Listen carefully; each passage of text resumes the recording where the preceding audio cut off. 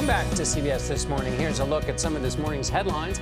Axios says a White House source leaked President Trump's private schedule from the last three months.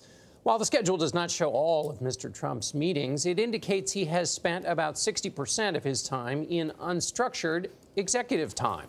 Axios sources say much of that is spent in his private residence, watching TV, reading the papers, and phoning aides and other people.